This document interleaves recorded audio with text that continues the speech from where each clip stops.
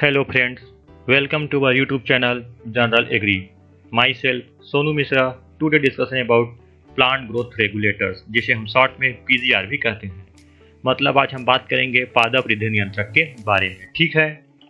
तो हमारा topic PGR start करने से पहले हम थोड़ा ये देख लेते हैं कि एक होता है प्लांट न्यूट्रिएंट्स और दूसरा है हमारा पीजीआर प्लांट ग्रोथ रेगुलेटर तो प्लांट न्यूट्रिएंट्स क्या होता है? पादप पोषक तत्व यह पोषण में भाग लेता है। और पौधा पोषक तत्व हमेशा बाहर से ही ग्रहण करता है। जैसे कि हम अप्लाई करते हैं पौधे को, या तो वो एटमॉस्फेयर से ले लेगा, या तो वो सॉइल से ले लेगा, ठीक है? जिसे हम प्लांट न्यूट्रिएंट्स कहते हैं। और हमारे पास कितने प्लांट न्यूट्रिएंट्स है? सत्रह न्यूट्रिएंट्स है। और नन और स्टूअर्ट ने कुछ क्राइटेरिया दिया था। आप सब लोगों को पता ही है मतलब जिस पोषक तत्व की कमी है, हमें वही पोषक तत्व अप्लाई करना है। पोषक तत्व की कमी से पौधों की वृद्धि रुक जाती है। ठीक है, अब देखते हैं पीजीआर तो पीजीआर पोषण में भाग नहीं लेता है और यह पौधे में ही संश्लेषित होता है। ठीक है ना? क्लियर हुआ? प्लांट न्यूट्रिएंट्स और पीजीआर क्या होता है? अब हम अपना टॉपिक स्टार्ट करें पीजीआर देखते हैं पीजीआर में अपना सबसे पहला टॉपिक हार्मोन्स हार्मोन्स क्या होता है? तो हार्मोन्स है इंडिजीनस कंपोनेंट्स इंडिजीनस का मतलब क्या होता है कि प्रोड्यूस्ड इनसाइड और ऑर्गेनिज्म और सेल है ना प्रोड्यूस्ड इनसाइड ऑन ऑर्गेनिज्म और सेल कहने का मतलब यह है कि किसी एक जीव या कोशिका के अंदर उत्पन्न होगा। ठीक है? इंडिजीनियस कंपाउंड्स का मतलब यह है क्योंकि यह किसी जीवित जीव के अंदर उत्पन्न होता है। जिसे हम इंडिजीनियस कंपाउंड बोलते हैं इसको हार्मोन्स को यह जीवित जीव या कोशिका के अंदर ही उत्पन्न होता है, जिसे हम इंडिजीनियस कंपोनेंट्स कहते हैं which is synthesize at one side and transported to another side कहने का मतलब यह है यह पौधे के किसी एक कोने में संश्लेषित होगा और संश्लेषित होने के बाद इसे पौधे के विभिन्न से भागों तक पहुँचाया जाता है या ट्रांसपोर्टेड किया जाता है। Where it exerts a physiological effect is very low concentration जहाँ पर यह बहुत ही कम कंसंट्रेशन में ही हमारे जो फ़िज़िकल इफ़ेक्ट करता है या शारीरिक व्याधि उत्पन्न करता है हमारा हार्मोन वेरी लो कंसंट्रेशन में। ठीक है क्लियर हुआ? हार्मोन्स क्या होता है? अब देखो, ये हार्मोन्स किसी भी जीवित जीव में हो सकता है, हमारे अंदर भी हो सकता है, जी एनिमल्स के अंदर हो सकता है, ठीक है। लेकिन जब प्लांट के अंदर होगा, या हार्मोन सिंथेलाइज तो उसको हम फाइटो हार्मोन्स कहेंगे, ठीक है ना? अब देखते हैं the term hormones is divided from Greek roots means hormone hormones means to stimulate मतलब उसे उत्तेजित करना या उसे सक्रिय करना, ठीक है, इसका मतलब। और टर्म हार्मोन किसने दिया था? इर्नेस्ट स्टार्लिंग याद रखना, ठीक है? हार्मोन टर्म इर्नेस्ट स्टार्लिंग दिए थे, ठीक है? अब देखते हैं हमारा second point phyto hormones phyto means होता है प्लांट हार्मोन्स होता है हार्मोन ठीक है ना? Phyto hormones are organic substance produce naturally by the plants using minute low concentration कहने का मतलब यह है कि पौधे द्वारा यह प्राकृतिक रूप से उत्पादित किया जाता है। उत्पादित कार्बनिक पदार्थ है, ठीक है? जो हमारा फाइटो हार्मोन है वह प्राकृतिक रूप से उत्पादित एक ऑर्गेनिक सबिस्टेंस है, ठीक है?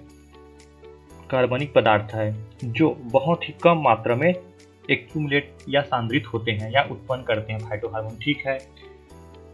जो हमारा फाइटो हार्मोन है increase decrease and modify the growth and development जो हमारे क्रॉप के, जो हमारा प्लांट है, उसमें तो इंक्रीज करेगा, या तो डिस्क्रीज करेगा, या कुछ मॉडिफाई कर देगा ग्रोथ एंड डेवलपमेंट में, ठीक है?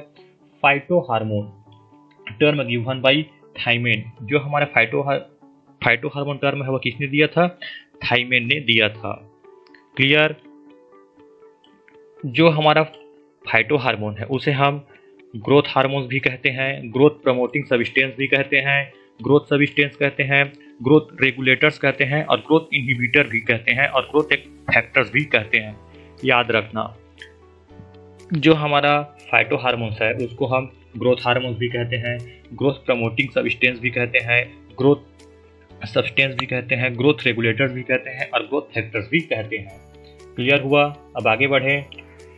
अब देखते हैं plant growth regulators P G R refer to natural और synthetic substance influence the growth and development कहने का मतलब ये है कि यह एक नेचुरल प्राकृतिक रूप से संश्लेषित होता है। जो हमारे पौधे के वृद्धि और डेवलपमेंट को प्रभावित करता है। ठीक है, कहने का मतलब ये है कि कोई पूछे पीजीआर क्या होता है तो यह पौधे के अंदर किसी एक पार्ट्स पर संश्लेषित होता है। उसके बाद यह पौधे के संपूर्ण भागों तक इसको ट्रांसपोर्ट या पहुँचाया जाता है। ठीक है, जिसे हम पीजीआर कहते हैं, जिसे हमारा सबसे पहला आता है I A auxin indole acetic acid है।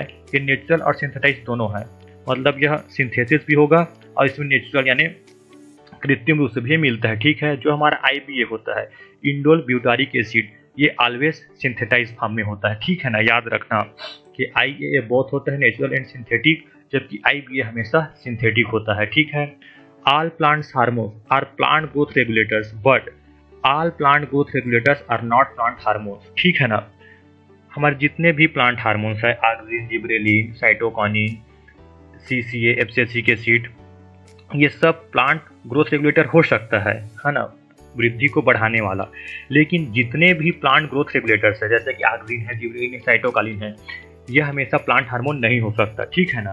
क्लियर हुआ? अब देखते हैं टाइप्स ऑफ़ पीजीआर तो दो प्रकार का होता है, एक होता है ग्रोथ प्रमोटर दूसरा होता है ग्रोथ इनहिबिटर मतलब ग्रोथ प्रमोटर जो ग्रोथ को बढ़ाता हो ग्रोथ इनहिबिटर जो ग्रोथ को रोकता हो तो ग्रोथ प्रमोटर में पहला है ऑक्सीन सेकंड है जिब्रेलिन और थर्ड है साइटोकाइनिन ग्रोथ इनहिबिटर में एप्सेसिक एसिड है और इथेलिन है ठीक है? तो हम हम्म, पहले देखते हैं ऑक्सीन के बारे में ठीक है? तो जो हमारा ऑक्सीन हो एक ग्रीक वर्ड है। एक्जिन मीन्स होता है टू ग्रो या इंक्रीज बढ़ा देना किसको? वृद्धि को। सेकेंड है ऑक्सीन में भी defined as a growth promoting substance जो हमारा ऑक्सीन है ग्रोथ प्रमोटिंग है मतलब वृद्धि को बढ़ाने वाला हार्मोन है which promote growth to the vertical axis when applied in low concentration to the shoot of plant कहने का मतलब ये है कि जब हम प्लांट में ऑक्सीजन का बहुत ही कम मात्रा में अप्लाई करते हैं तो जो हमारे प्लांट का ये जो होता है रूट पोर्शन उसको वर्टिकल सेक्सिस ठीक है, ये हुआ हॉरिजॉन्टल ये हुआ वर्टिकल तो वर्टिकल ग्रोथ में यह सहायता करता है। कौन? ऑक्सीजन अब देखते हैं oxygen name and discovered F W nineteen में 1928 में ऑक्सीजन को डिस्कवर किसने किया था? एफ़ डब्ल्यू वेंट ने। याद रखना, ठीक है। और किसने किया था? Avena sativa in plant Avena sativa किसका बॉटनिकल नेम है? ओट जई का। याद रखना, किसने किया था? एविना सटाइवा में। फिर आता है heteroxy heteroauxin I A A indole acetic acid was isolated from human urine जो हमारा आई ए ए है, वो ह्यूमन एरिन से आइसोलेट किया गया था। किसने किया था? कॉगेल एक वैज्ञानिक है, ठीक है? कॉगेल ने किया था। अब प्रिकॉर्सर ऑफ़ आई ट्रिप्टोफिन है, ठीक है? फिर most widely found oxygen I सबसे अधिक ऑक्सीजन कौन सा पाया जाता है? आई पाया जाता है एस्टिक एसिड क्लियर अब देखते हैं यूजेस ऑफ़ ऑक्सीजन तो पहला है हमारा एपिकल डोमिनेंस ये हमारा एपिकल डोमिनेंस करता है। ठीक है मेन फ़ंक्शन इसका इसी है एपिकल डोमिनेंस करना। दूसरा है high oxygen and low cytokinin formation root और जिससे, जिस प्रक्रिया से रूट बनेगा, उसको हम कहेंगे राइजोजेनेसिस ठीक है, जब हम हाई देंगे किसका? ऑक्सीजन का। और लो कंसंट्रेशन करेंगे साइटोकाइनिन का। तो क्या फॉर्मेशन होगा? रूट का फॉर्मेशन होगा। ठीक है, अब देखते हैं oxygen is important for cell division cell elong enlargement और कैलस फॉर्मेशन अब आता है control fruit dropping N A N naphthalic acetic acid जो होता है, क्या होता है हमारा फ्रूट परिपक्वता के पहले ही गिर जाता है, उसको एन ए ए रोकता है गिरने से, ठीक है? अब आता है डिस्क्रीजिंग इंटरनोड्स लेंथ नोड्यूल्स यह इंटरनोड्स लेंथ जो होता है ना, उसको वो कम करता है इंड्यूस करता है। जो डिस्क्रीजेस होता है, उसको इंड्यूस करता है। फिर it move from apical to basal in कहने का मतलब ये है, ये रहा हमारा प्लांट ये रहा हमारा फ्लावर या एपिकल बर्ड और ये रहा कोई हमारा बेसल बर्ड ठीक है? तो ये एपिकल बर्ड में सिंथेसिस होकर बेसल की ओर मूव करता है, ठीक है? कौन? ऑक्सीजन फिर आता है पार्थेनोकार्पी है ना? पार्थेनोकार्पी कहने का मतलब ये है कि without the development of fruit without fertilization बिना निश्चय उसमें फ्रूट बन जाता है। इसको ये इंड्यूस करता है ऑक्सीजन ठीक है? अब देखते हैं ऑक्सीजन दो प्रकार का होता है। पहला होता है नेचुरल ऑक्सीजन और दूसरा होता है आर्टिफिशियल या सिंथेटिक ऑक्सीजन तो नेचुरल में आता है आई ए ए याद रखना। फिर जितना भी बचा वो आर्टिफिशियल में जैसे कि I B A N A A I P A two four D two four five D J weed killer है सेलेक्टिव फिर टीवा आता है। ठीक है? अब हम आगे बढ़े। अब देखते हैं ए और एन का क्या उपयोग होता है। प्रिवेंशन ऑफ़ एब्सेशन एब्सेशन होता है, जैसे कि पत्तियों का गिरना या कोई डेड टिश्यू वगैरह है, उसको ये रोकता है। ठीक है, कौन? ए ए आई ए ए और एन ए ए फिर आता है alpha N A A internode short short shortening ठीक है, ये जो अल्फ़ा एन ए होता है, ये सीरियल सीड्स में पाया जाता है। क्या होता है हमारा सीरियल सीड्स हाइपोजियल जर्मिनेशन होता है और लेग्यूमिनेशन इपीजियल जर्मिनेशन होता है। तो जो उसमें एम्ब्रियो होता है ना, उसको ये भोजन देता है, ठीक है एनर्जी देता है। कौन? अल्फ़ा एन ए सीरियल में। फिर आता है आई बी ए ये रूटिंग ऑन स्टेम कटिंग हमारा कोई ये प्लांट है, ये मान लो स्टेम है, अब इसमें हमें रूट लाना है। तो ये आई बी ए यहाँ से आई बी ए रूटिंग करता है, ठीक है रूट फॉर्मेशन करेगा, ठीक है। फिर आता है एम एच एन टीबा ये पोटेटो डॉर्मेंसी को इंड्यूस करता है, ठीक है। फिर आता है I A A parthenocarpy parthenocarpy क्या होता है बताया दिया है अब आता है? Two four D and two four five D, ये सेलेक्टिव वीट किलर होता है। याद रखना। देखो ऑक्सीजन का मेन फ़ंक्शन क्या है? एपिकल डॉर्मेंसी हमने ऑक्सीजन जैसे ही अप्लाई किया तो ये ये रहा हमारा एपिकल डॉर्मेंसी और ये रहा एपिकल वर्ड और ये रहा हमारा बेसल वर्ड तो ऑक्सीजन जैसे ही इसमें इंक्लूड होगा तो ये एपिकल डॉर्मेंसी को रिमूव कर देगा डोमिनेट कर देगा। फिर यह एपिकल बर्ड को इंड्यूस करेगा। ठीक है, यही ऑक्सीजन का काम है। अब हम आगे बढ़े। क्लियर हुआ ऑक्सीजन के बारे में। अब देखते हैं जिब्रेलिन जिसका फार्मूला है C nineteen twenty two O six जिसमें फ़र्स्ट है। इसे पहली बार जापान में देखा गया था राइस के बकाने डिसीज में। ठीक है, इसमें क्या हुआ था? एक जापानी साइंटिस्ट थे जापानी वैज्ञानिक कुरुशावा। ठीक है, कुरुशावा ने इसकी खोज किया था। इसने देखा कि जो इन्फेक्टेड जो प्रभावित सीटलिंग है, उसमें एक फंगस है। कौन सा? Gibberella fujikuroi. ठीक है, ये है fungus, Gibberella fujikuroi. Growth layer. जब उसने उगा के देखा इन्फेक्टेड राइस को, बकाने डिसीज जो इन्फेक्टेड राइस था, उसको जब इसने उगा के देखा अपने लैब में हो या फ़ील्ड में, जिसमें भी हो ग्रो करके देखा कि इसने कुरुशावा ने तो उसने देखा कि इसमें एक फंगस एक्टिव है। कौन सा है? Gibberella fujikuroi. इसके वजह से जो हमारे राइस का सीडलिंग है, वो लंबे होकर बहुत पतले और पीला हो गया है, ठीक है? वो ग्रोटाल बहुत लंबे होकर टर्न वेरी थीन और बहुत पतले होकर पीले हो गए हैं, ठीक है? फिर उसने देखा, in active substance was isolated जो फंगस है हमारा जिब्रेला फ्यूजिक है, उनसे इनके ज़रिए एक सबस्टेंस आइसोलेट किया, जो इन्फेक्ट करता था सिडलिंग को और उसका नाम दे दिया जिब्रेलिन ठीक है? जिब्रेलिन कहाँ से आया था? बकाने डिसीज लगता है राइस में। उसके ज़रिए इसे किसने क्रुशवाहो जापानी साइंटिस्ट ने ग्रो करके देखा तो पाया उसमें फंगस जिब्रेला फ्यूजिकुराई और इसी जिब्रेला फ्यूजिकुराई में एक्टिव सबिस्टेंस था। इसीलिए इसका नाम जिब्रेलिन रख दिया। ठीक है? अब सेकेंड आता है हमारा most common found gibberellic acid G A three इसे हम जी ए थ्री भी कहते हैं और यही सबसे ज़्यादा पाया जाता है जिब्रेलिन में। अब इसका प्रिकॉर्सस होता है टर्पेंस ठीक है ना टर्पेंस इसका प्रिकॉर्सस है। क्लियर हुआ जिब्रेलिन आया कहाँ से और क्या होता है? अब बात करते हैं function of G A gibberellin के बारे में। ठीक है तो ये फ़र्स्ट है हमारा इंक्रीज इंटरनोट लेन अब इंटरनोट क्या लेन क्या होता है? मान के चलिए ये हमारा कोई ट्री है, वृक्ष है, पेड़। ठीक है तो ये रहा हमारा फ़र्स्ट इंटरनोट ये कोई रहा सेकेंड इंटरनोट ये रहा फ़र्स्ट इंटरनोट ये रहा सेकेंड इंटरनोट इस बीच के भाग को बोलते हैं इंटरनोट दो नोट्स के बीच के भाग को बोलते हैं इंटरनोट तो ये इंक्रीज करता है। इसी को ये बढ़ावा देता है इंटरनोट लेंथ को। इसी इंटरनेट लोन को जी ये बढ़ावा देता है। ठीक है? इंक्रीज जर्मिनेशन ये जर्मिनेशन को बढ़ावा देता है। इंड्यूस मेलनेस इसको याद रख लेना। जो हमारा जी है वो मेलनेस मेल फ्लावर को इंड्यूस करता है। ठीक है? डॉर्मेंसी ब्रेकिंग ये भी इंपॉर्टेंट है। ये हमारे डॉर्मेंसी ब्रेकिंग है। जो सीड की सुप्तावस्था है उसको ये ब्रेक करता है, तोड़ता है। ठीक, ये तो हो गया है सीड जर्मिनेशन का काम करता है। फिर आता है induce flowering in long day plant in short light hours क्या होता है? शॉर्ट डे में ये हमारा लॉन्ग डे लेंथ को कहने का मतलब ये है कि शॉर्ट डे लाइट हावर में, ठीक है? शॉर्ट लाइट हावर्स में भी कुछ अगर लॉन्ग डे अगर हम प्लांट सोइंग करते हैं तो उसमें भी इंड्यूस करते हैं फ्लावरिंग को। ठीक है ना? हम पढ़ते हैं long day plant short day plant long day plant में उसको ज़्यादा सनलाइट की आवश्यकता होती है और शॉर्ट डे में कम लाइट की आवश्यकता होती है। लेकिन हम शॉर्ट लाइट हावर्स में भी कुछ ऐसे पौधे ले लेते हैं जिसको लॉन्ग डे लंबे समय तक या उसका ड्यूरेशन लॉन्ग होता है। उसमें भी यह फ्लोरिंग को इंड्यूस करता है। कौन? जी ए फिर आता है synthesis of the enzyme a amylase ठीक है? ये हमारा अल्फ़ा एमाइलेस का सिंथेसिस करता है। कौन? जी ए याद रखना। फिर आता है enlarge the fruit and flower जो हमारा जिब्रेलिन है, वह फ्रूट एंड फ्लावर में इनलार्ज करता है, यानी बढ़ोतरी करता है, ठीक है, या उसके साइज़ को बढ़ाता है। फिर आता है parthenocarpy induce like auxin pome and stone fruits where oxygen have held to induce देखो, यह पार्थेनोकार्पी को इंड्यूस कौन कर रहा था? ऑक्सीजन भी करता है, ये भी करता है, लेकिन पोम एंड स्टोन फ्रूट के केसेस में ऑक्सीजन इंड्यूस नहीं कर पाया था पार्थेनोकार्पी को। तो वहाँ पे कौन इंड्यूस कर रहा था? जी ए जिब्रेलिक एसिड याद रखना। पोम एंड स्टोन फ्रूट के केस में पार्थेनोकार्पी को इंड्यूस कौन करता है? जी ए मतलब जिब्रेलिन एसिड करता है। ठीक है parthenocarpy induce parthenocarpy the gibberellin have proven to the success कहने का मतलब यही है कि देखो पार्थेनिक को इंड्यूस कौन करा था? ऑक्सीजन हमने देखा। लेकिन यहाँ पे कुछ केसेस पर, जैसे कि पोम और स्टोन फ्रूट्स में ऑक्सीजन ने पार्थेनोकार्प इंड्यूस नहीं किया था तो उसके जगह में जिब्रेलिन सक्सेसफुल या जबरेलिन जिब्रेलिक एसिड ने इंड्यूस किया पार्थेनोकार्पी को। ठीक है क्लियर हुआ ऑक्सीजन जिब्रेलिन अब हम आगे बढ़ते हैं।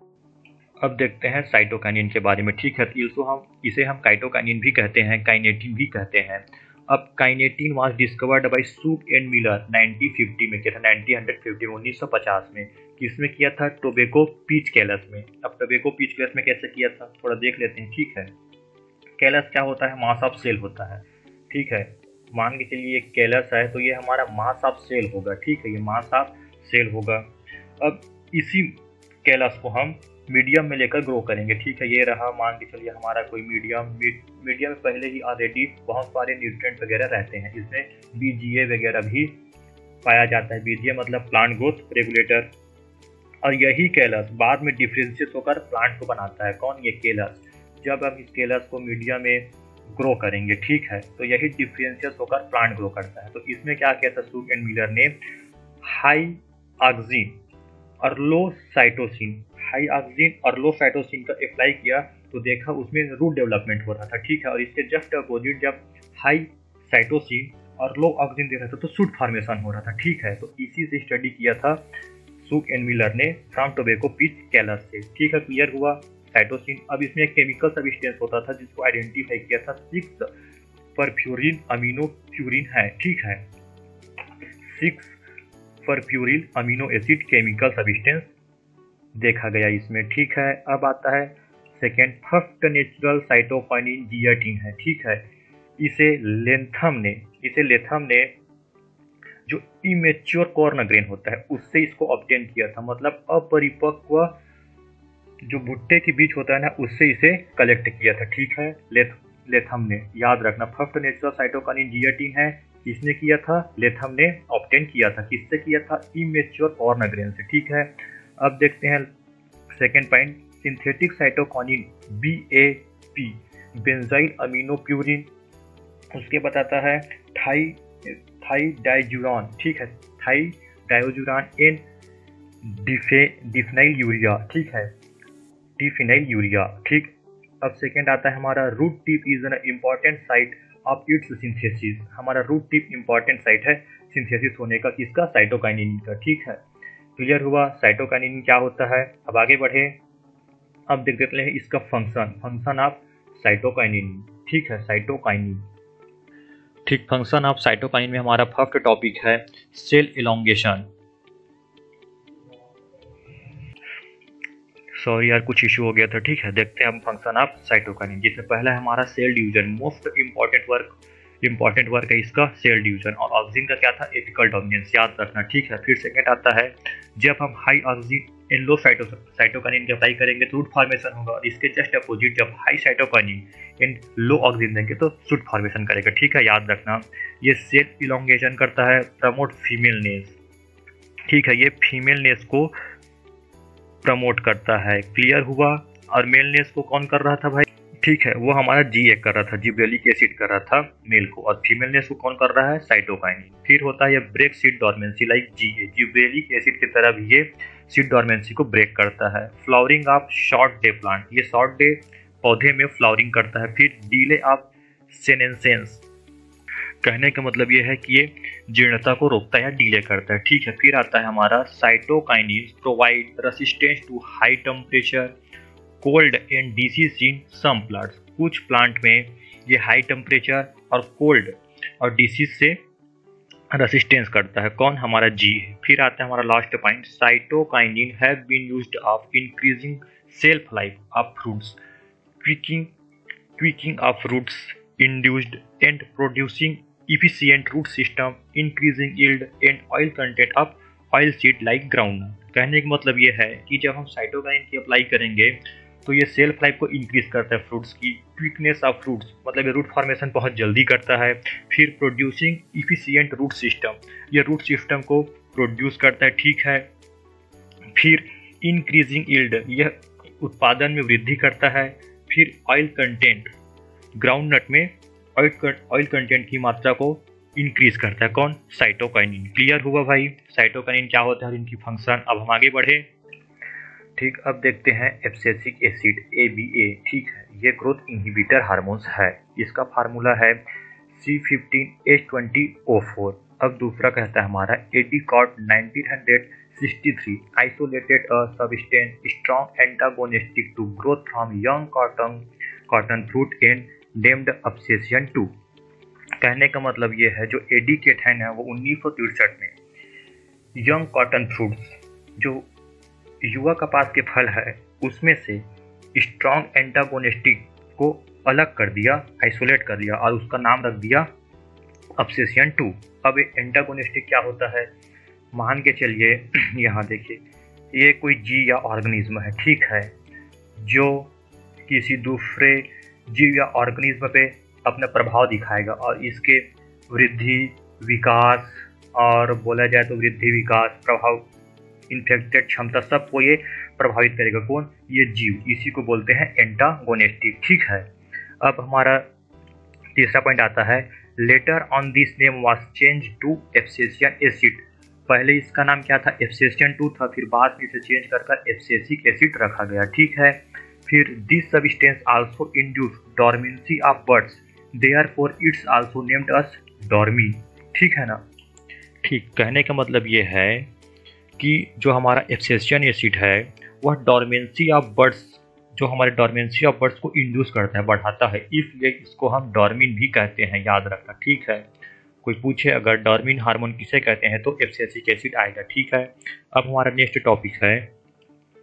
First growth inhibitors was obtained from dormant potato tube कहने का मतलब ये है कि पहली बार इनहिबिट्री मतलब जो ग्रोथ को घटाने वाला घटाने वाला हार्मोन्स किससे ऑप्टेन किया था, था डोरमेंट पोटेटो ट्यूबर से। ठीक है याद रखना। फिर हमारा लास्ट आता है A B A enhance plant tolerant to various stress like water stress stomata close known as the stress hormone इसे हम स्ट्रेस हार्मोन भी कहते हैं याद रखना। ठीक है अब देख लेते हैं uses of A B A तो including bird dormancy and seed dormancy. ठीक है, ये बर्ड डॉर्मेंसी और सीड डॉर्मेंसी को इंड्यूस करता है, यानी बढ़ाता है। Induce senescence of leaves fruits ripening obsessions of leaves and flower and fruits कहने का मतलब ये है कि यह सेंसिनेस जीर्णता को बढ़ाता है लिप्स और फ्रूट को। ठीक है सेंसिनेस जीर्णता को बढ़ाता है लिप्स और फ्रूट की। फिर एब्सेशन ऑफ़ लिप्स फिर फ्लावर एंड फ्रूट्स मतलब देखा जाए तो ये हर तरफ़ से हानिकारक है। ठीक है कौन?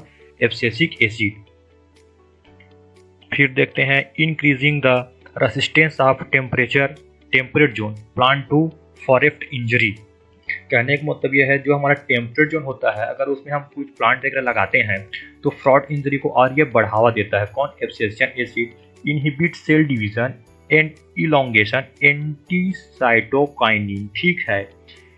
यह हमारे लिए हर तरफ़ से हानिकारक है। कौन? एब्सेशियन एसिड यह सीट डॉर्मेंसी को बढ़ा रहा है। सीट बर्ड डॉर्मेंसी को बढ़ा रहा है। Senescence of leaves and fruit को बढ़ा रहा है, ठीक है। फिर टेम्परेट जोन में हम जो प्लांट वगैरह लगा रहे हैं, उसको फ्रॉड्स इंजरी को बढ़ा दिया रहा है।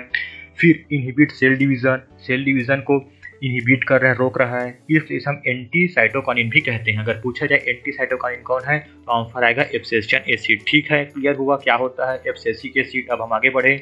जिसे हम डॉर्बिन भी कहते हैं, ठीक है? अब बात करते हैं इथेलिन के बारे में, जिसका फार्मूला है सी टू एच फोर ठीक है?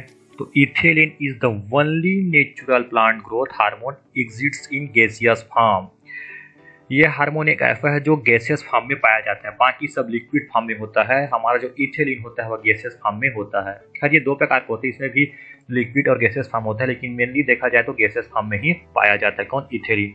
अब एक होता है ब्रुक वैज्ञानिक है, जिसने रिपोर्ट किया था, ethylene is a fruit ripening hormone ठीक है? जो हमारा इथेलिन है, वो एक फ्रूट रेपनिंग फल को पकाने वाला हार्मोन है। ये किसने रिपोर्ट किया था? ब्रुग ने, याद रखना। बुर्ग ने, ठीक। जो भी पढ़ लेना, जैसे आप लोग को बने, ठीक है। फिर देखते हैं third precursors of ethylene methionine है, ठीक है। इसका प्रिकॉर्सस मेथोलिन है। ये एक अमीनो एसिड है, और कौन सा अमीनो एसिड है? सल्फ़र कंटेनिंग अमीनो एसिड है, याद रखना, ठीक है। कोई पूछे कि मेथोलिन क्या है सल्फ़र कंटेनिंग अमीनो एसिड है। अब देखते हैं uses of ethylene the main role of ethylene is it hastens the ripening of fleshy fruits banana apples pear tomato से सिट्रस कहने का मतलब यह है कि यह पकाने का काम करता है फ्लेसी फ्रूट से। उसमें कौन कौन सा है? बनाना आता है एप्पल आता है पियर है टोमेटो और सिट्रस है, ठीक है? फिर सेकंड पॉइंट आता है it is effective in inducing flowering in pine यह हमारा पाइन के फ्लावरिंग को इंड्यूस करता है, ठीक है? इफ़ेक्टिव इफ़ेक्ट करता है सॉरी ये हमें प्रभावित करता है किसको? पाइन के फ्लावरिंग इंड्यूस को, ठीक है? फिर देखते हैं it case inhibitor of root growth कुछ केस में यह रूट ग्रोथ को भी इनहिबिट करता है, यानी नुकसान पहुंचाता है, हानि करता है। ठीक है इनहिबिट करता है। फिर inhibit polar movement of auxin जो ऑक्सीजन का मूवमेंट होता है प्लांट में, उसको ये इनहिबिट करता है, रोकता है। ठीक है? फिर it stimulate epinasty epinasty of leaves ठीक है? It stimulate epinasty leaves epinasty leaf कहने का मतलब क्या है? ये देखिए फिगर ये रहा लिप्स तो ये रहा अपर लिप्स कहा जाए अगर प्लांट है। मान लो ये प्लांट है तो ये हो गया अपर लिप ठीक है? और ये हो गया लोअर लिप तो यह लोअर लिप में स्टिमुलेट होता है। ठीक लोअर लिप में स्टिमुलेट होता है। कौन? इथेलिन ये भी एक इनहिबिटरी हार्मोन है। ठीक है क्लियर हुआ? ऑक्सीजन जिब्रेलिन साइटोकाइनिन एथिलीन और एक हमारा क्या छूट गया? एफसेसिक एसिड ठीक है? क्लियर हुआ? क्या होता है? अब हम आगे बढ़े। अब लास्ट हमारा टॉपिक है ग्रोथ रिटार्डेंस ये ग्रोथ इनहिबिटर्स के अंतर्गत ही आता है, जिसमें हमारा तीन स्ट्रॉर है। कौन कौन सा पहला है?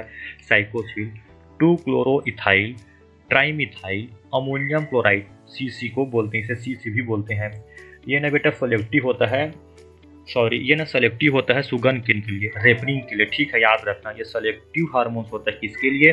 सुगर केन के लिए रेपनिंग करने के इसको पकाने के लिए। सेकेंड है आपका phosfon D two four dichlorobenzyl tributyl phosphonium phosphonium chloride बोलते हैं इसको ठीक है फिर आता है मेलिक हाइड्राजाइट मेलिक हाइड्राजाइट का हम किसमें करते हैं स्टोरेज हाउस में अगर हम प्याज वगैरह रखते हैं तो प्रॉब्लम को रोकने के लिए जर्मिनेशन को रोकने के लिए इसका उपयोग हम करते हैं मेलिक हाइड्रोजाइट का ठीक है क्लियर हुआ ग्रोथ प्रमोटर ग्रोथ इनहिबिटर और ग्रोथ रिटार्डेंस क्या होता है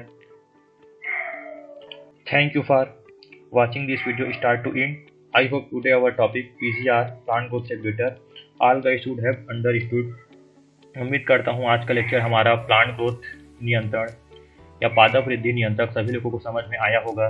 बीच में कुछ इशूज़ वगैरह हो गए और उसके लिए मैं सॉरी चाहता हूँ, माफ़ी माँगता हूँ। क्या है कि सब टेक्निकल तो है, बीच में कुछ इशू आ गया था। ठीक है? Okay thank Thanks.